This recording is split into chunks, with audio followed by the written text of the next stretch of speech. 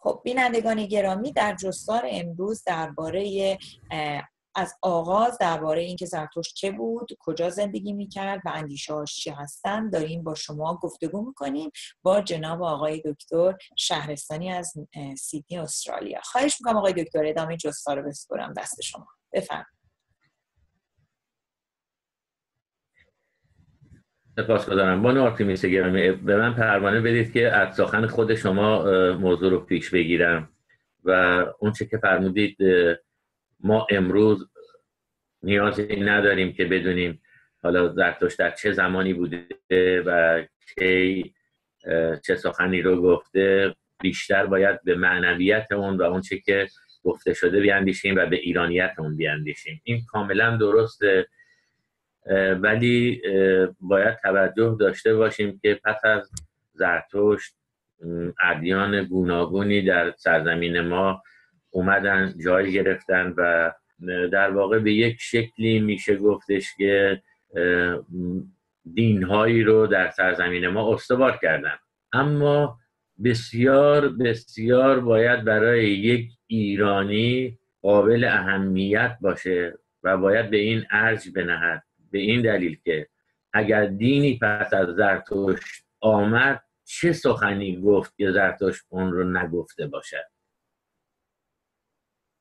ببینید اگر یک روزی شما یک صنعتی رو حتی در صنعت اگر پیشگامی به وجود بیاد یا اگر یک تجربه جدیدی رو بخواد به بازار عرضه بکنه باید یک ارزش افزوده ای نسبت به اون چه که در گذشته در اون صنعت بوده در اون پدیدار باشه.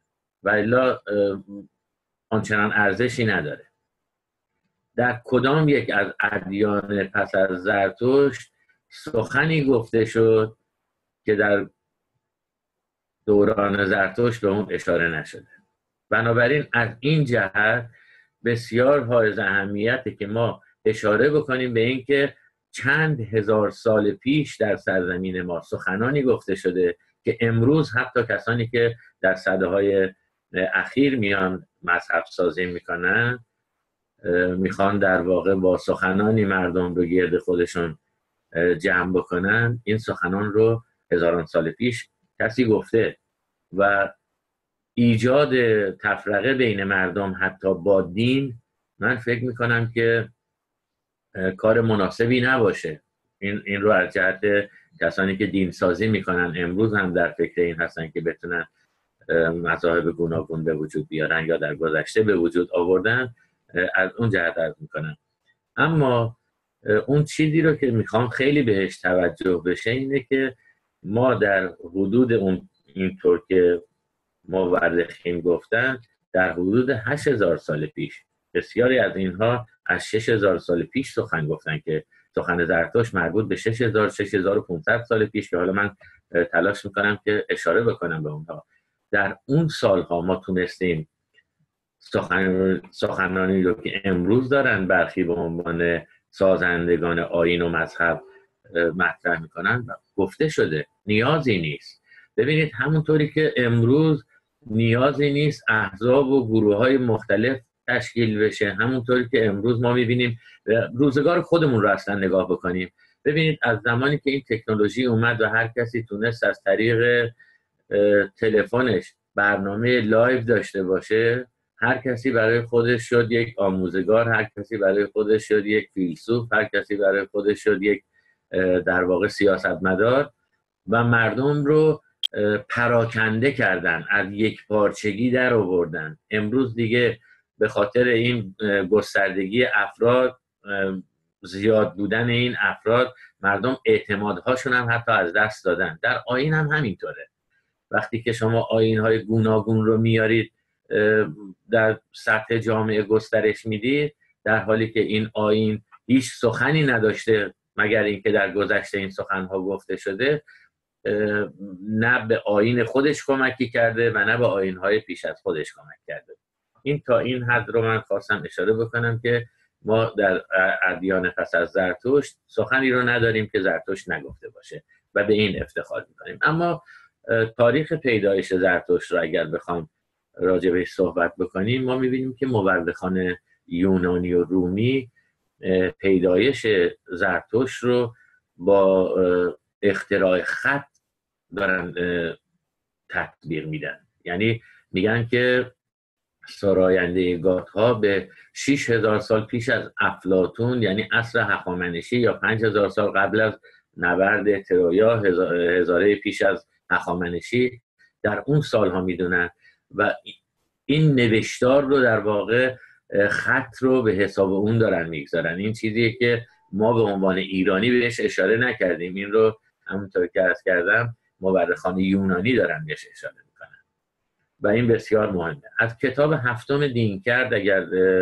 در واقع توجه بکنید چنین برمیاد که زرتشت در سال 5670 آفرینش در دوران دوازده هزار ساله زاده شده. یعنی شما ببینید وقتی اینها رو هم کم می‌کنید ببینید که خب یا از سوی دیگه در همون کتاب دو, دو تا سند یا یک, سند حداقل می‌دونم که داره که سند مانوی از چین اشاره شده که مانی در سال 11527 تاریخ جهانی به دنیا آمده. بنابراین زرتشت 5857 57 سال پیش از مانی میزیسته. و از اونجایی که تاریخ تولد مانی 216 میلادی بوده زمان زرتشت به این نسبت می‌تونه 6090 سال قبل از میلاد باشه. اینا چیزایی که در تاریخ ایرانی ها نیست دیگران در موردش دارن میگن. و بسیاری دیگر اندیشه های زرتوش رو بیاموزیم. یعنی هر یک فرزند ایران زمین بایستی با سیستم فکری زرتشت آشنا باشه. چرا؟ برای اینکه این ملت در یک بکگراندی زرتشت بزرگ میشه. در یک محوطه بالیده میشه. و اون محیط اطرافی که توی زندگی کرده در کجا بوده؟ در چین که نبوده که.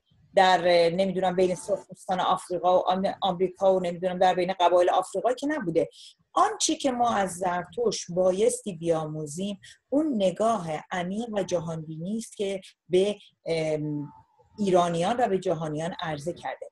اما نکته جالبتر اینه که زرتشت از اول به نظر می‌رسه که اونجوری که نوشته شده در اسناد زرتشت از 15 سالگی اندیشه های فلسفی خودش رو نشون میده. یعنی صحبت هایی که شروع می‌کنه می‌کنه در خانه و خانواده و پرسش هایی که می‌کنه و جهان بینی که شروع می‌کنه به چالش کشیدن به نظر می‌رسه که از همون 15 سالگی نشون می‌داده که اندیشه فلسفی داره و اندیشه های بسیار عمیق تاثیرگذار که بعد در سی سالگی اون که ما میشنویم میاد و میاد و این اندیشه هایی که 15 سال در ذهن خودش مرور کرده و بررسی کرده دقیقا کاری که ممکنه شما ببینید یک استاد دانشگاه می‌کنه یک کار آکادمیک که شما میاد یک تئوری می‌ذارید اون تئوری ها رو آزمایش می‌کنید یا بررسی می‌کنید یا شاهد براش پیدا می‌کنید تا متوجه بشید که بله یک اندیشه درست هست یک بستا تئوری درست هست یا نه. زرتوش دقیقا کاری که کرده همین بوده. میاد و شروع می‌کنه با پرسش و پاسخهایی که مطرح می‌کنه که در گات ها اونها رو می‌بینید اون چیزی که ما به عنوان اهورامزدا می‌شناسیم. دانا دانا برترین دانا یا بزرگترین دانا یا دانای بزرگ اون رو واجد شرایط نیایش و پرستش می‌دونه.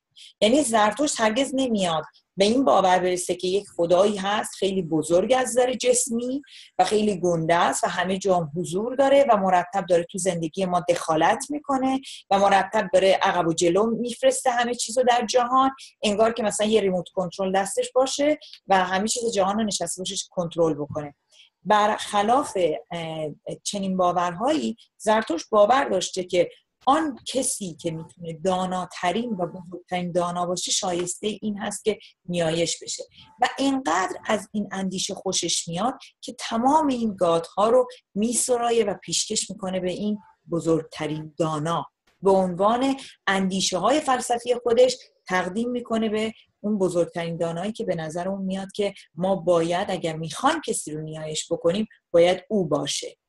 این اگر این اندیشه رو فقط تا همین جا شد. مردم ایران همین امروز این 80 میلیون ایرانی این رو سر, سر لوحه زندگی خودشون قرار بدن اون وقت هیچ وقت نمیان باور بکنن که خدا هرچی که باید خوب باشه و بد باشه الله آفریده و توی کتاب به شما گفته و هر چی که اون گفته بکنین خوبه هر چی هم گفته نکنین بده بقیه هم هیچی به هیچی. یعنی شما هیچ آزادی انتخابی ندارید هیچ اختیاری هم ندارید هیچ راست و درست و خردی هم نمی‌تونید با رشنال و منطق خودتون برداشت بکنید.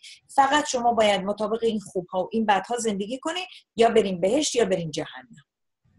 ببینید از این اندیشه ما اگر بتونیم هممون بهره بگیریم اون وقتی که ما می‌بینیم هرگز ایرانی نمیاد چیز رو به عنوان تسلیم شدن خرد رو تعطیل کردن و هر چی رو بهش دیکته کردن رو بپذیره. شما همین باور رو دارید آقای دکتر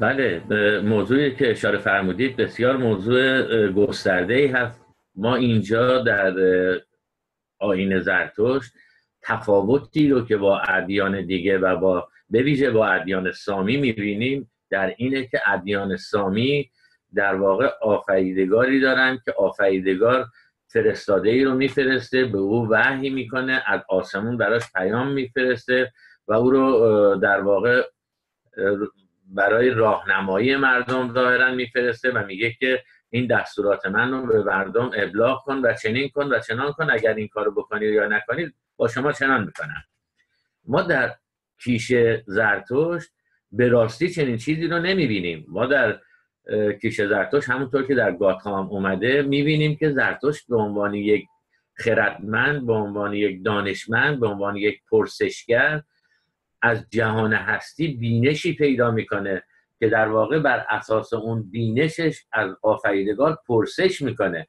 یعنی هیچ آیه از آسمون به زمین نیومده برای زرتشت بلکه از زمین زرتشت برای اون آفریدگار پیام فرستاده که ما تونستیم تو رو بشناسیم. این ما هستیم که تو رو شناختیم. خیلی فرق می‌کنه که شما یک کسی رو خودت بشناسی یا یک موجود نادیده ای بخواد خودش رو تحمیل بکنه و بشناسونه. ما اینجا می‌بینیم که زرتشت در گات ها می‌بینیم که زرتشت اون چرا که در جهان می‌بینه دیده های خودش رو تک تک پرسش می‌کنه از اون عنصری که به عنوان آفریدگار در ذهن خودش پرورش داده. و میگه که در نهایت میگه که من با خردم تونستم بفهمم که شما آفریننده توی آفریننده این هستی. و این هستی رو تو آفریدی. ای مزدا ای ابور مزدا. ببینید این خیلی مهمه. شما در ادیان دیگه همین که شما در واقع بنیان اندیشهتون خرد باشه زمین تا آسمون فرق می‌کنه تا بنیاد اندیشه شما تسلیم باشه. خیلی فرق می‌کنه. اینکه شما اجازه دارید هر چیزی رو به چالش بکشید. اجازه دارید پرسش کنید. اجازه دارید بپذیرید یا نپذیرید. اجازه دارید گزینش کنید یا نکنید. این آزادی گزینش رو در هیچ باوری پیش از زرتشت و پس از زرتشت نمی‌بینیم برای ابراهیمی به شما آزادی گزینش نمیدن. شما یا خودی هستی یا ناخودی هستی. یا شما مثلا یهودی هستید یا شما مثلا مسیحی هستید یا شما مسلمانید یا نیستید. و شما اجازه ندارید که اگر دلتون نمی‌خواد نباشید. برای شما یه مجازات هایی در نظر می‌گیرن. و این همین جاست که نشون میده که ایرانیان دیدشون دید آزادمنشی و آزادگی بوده. ایرانیان دیدشون دیده سر تسلیم کردن سرخم کردن حالا یا در برابر ستم یا نیروی برتر یا در برابر پول یا در برابر هرچی ارعاب هرچی که باشه ترس و وحشتی داشته باشن. هیچ وقت ایرانیان این توی فرهنگشون نبوده که ما باید سرمون رو بندازیم پایین هر چی بهمون میگن اگر تو سرمونم زدن سرمون رو بلند نکنیم پرسش هم نکنیم. این یکی از بهترین درس‌هاست که ما به نظرم می‌تونیم از اندیشه های زرتشت بگیریم. خواهش می‌کنم بفرمایید آقای دکتر. ببینید بانو آرتیمیس شما یه پزشک هستید. اگر یک روزی مریضتون رو به خاطر ویزیتش می‌بینید خب این زیاد کار مهمی نیست. میرید مریضتون رو برای ویزیتش می‌بینید.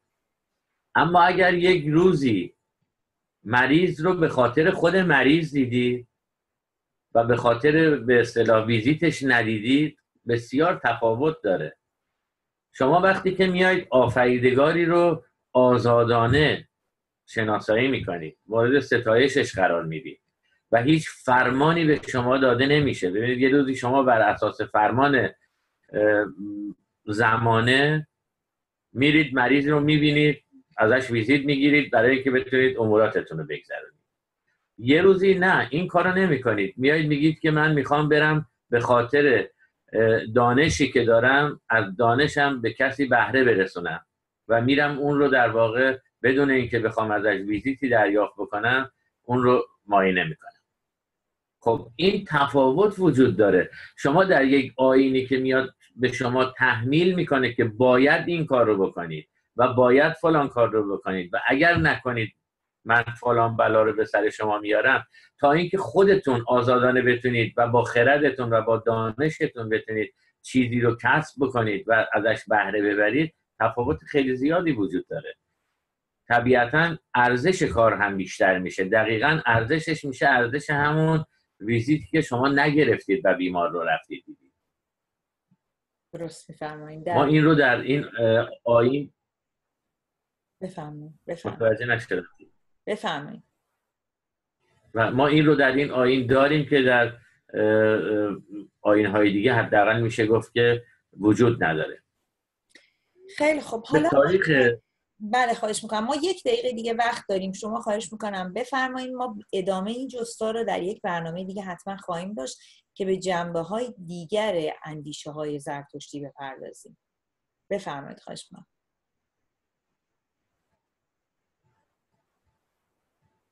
خب بحث تاریخ ظهور زرتشت خیلی طولانی میشه. در یک دقیقه نمیشه بهش اشاره کرد. اما اون چیزی که فکر می‌کنم لازمه که بهش اشاره بکنیم اینه که توجه داشته باشن. فرزندان ما وقتی میگن زرتشت و تاریخ های گوناگون برای زرتشت میارن به این دلیله که ما زرتشت های بسیاری در طول دوران تاریخ سرزمینمون داشتیم و چون زرتشت عنوان بوده و نه نام شخص خاصی به بسیاری از کسانی که از خرد و آگاهی بالایی برخوردار بودن این عنوان رو می‌دادن.